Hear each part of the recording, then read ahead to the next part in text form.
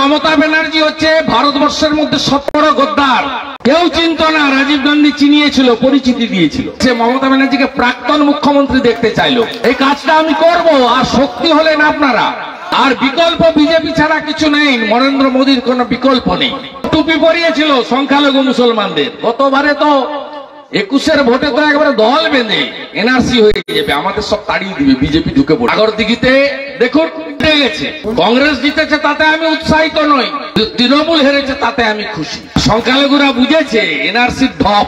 অপের chop Mamata Banerjee খাইয়েছিল, সে chop আর কাজ করছে না। লোক এখন কর্ম চায়, লোক এখন হসপিটালে স্বাস্থ্য পরিষেবা চায়, আধুনিক শিক্ষা চায়। বাড়ির সামনে পাকা রাস্তা চায়, কৃষক তার অধিকার চায়, নারী তার সুরক্ষা চায়।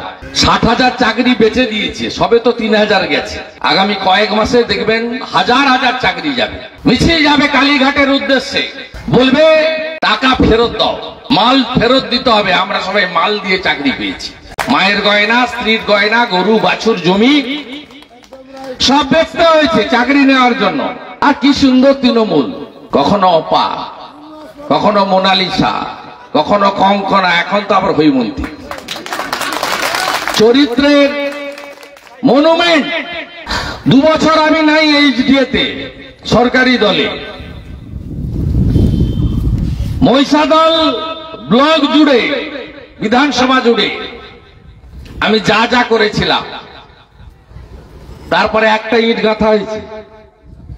পঞ্চাশটা ঢালাই রাস্তা আছে আমার। এইচডি এর টাকায় করা। একান্নটা রাস্তা করেছেন। এখানকার যে এমএলএ হয়েছেন। চটি চাটা মিডিয়াকে নিয়ে ঘুরে আর শুধু নাকি পরিদর্শন হচ্ছে, জরিপ আর সমীক্ষা।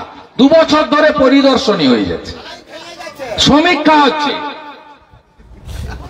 বিশ্ববিদ্যালয় কোথায় হবে? জায়গা নাই। আমি আপনার বামুনিয়া মৌজায় এই অঞ্চলে দশ একর জায়গা এইচডি দিলাম। আমি যেদিন গেছি তারপরের দিন থেকে কাজ বন্ধ। বিশ্ববিদ্যালয়ে আর একটা ইটও গাঁথা হয়নি। প্রজ্ঞানন্দ সংস্কার আমি করেছিলাম, আর কেউ করে রবীন্দ্র ভবনের সংস্কার আমি করেছিলাম, তা দু বছর চলে গেছে। হাত দেয়নি। কুমুদিনী ডাকুয়া মুক্ত মঞ্চ। এইচটি ক্যানেল দুবার সংস্কার করেছি। এইচটি ক্যানেলের উপর বাইশটা কাঠের ব্রিজ সংস্কার করেছি। দুটো পাকা ব্রিজ বানিয়ে দিয়েছি গান্ধী কুঠিরে যাওয়ার ব্রিজ সহ। এত স্ট্রিট লাইট লাগিয়ে দিয়েছি।